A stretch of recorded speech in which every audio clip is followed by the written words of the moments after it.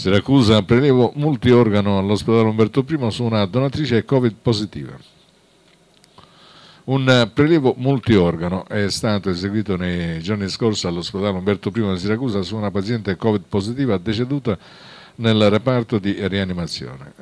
L'equipe dell'ISMET di Palermo, integrata dal personale di sala operatoria del presidio ospedaliero, ha proceduto al prelievo di fegato e reni.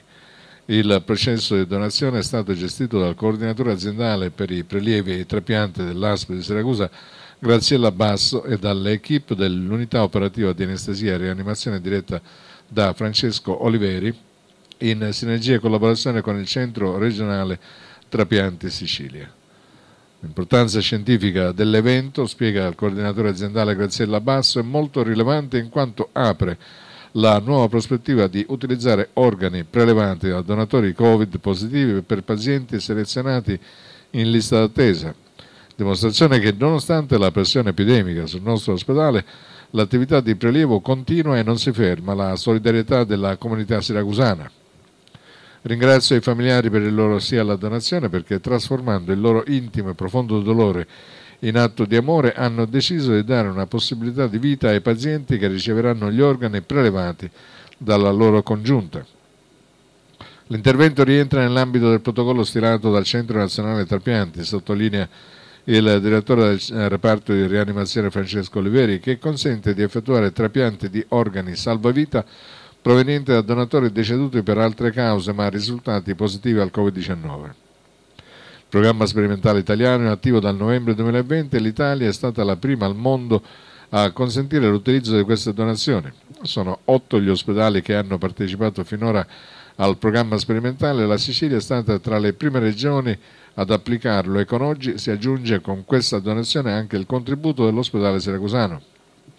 I trapianti di questi organi sono stati eseguiti in totale sicurezza, tutti coronati da successo senza riscontrare nemmeno un caso di trasmissione della malattia.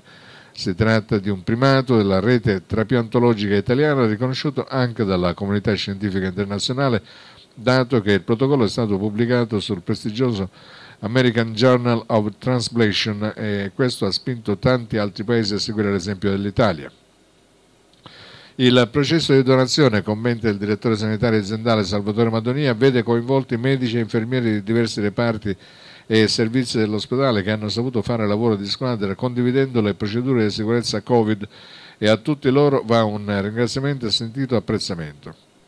Siamo vicini al dolore dei familiari che ringraziamo sentitamente per aver scelto di trasformare una gravissima perdita in una opportunità di vita per tante altre persone. Questo prelievo rappresenta un evento di notevole rilievo etico e scientifico, dichiara il direttore generale dell'ASP di Siracusa Salvatore Lucio Ficarra, che fa onore all'azienda, l'ospedale Umberto I ha dato prova di grande capacità e generosità non solo per arginare l'infezione da coronavirus, ma aprendosi nuovi percorsi a protocolli innovativi anche per riuscire a segnalare i potenziali donatori di organo, consentendo così continuità alle attività di trapianto.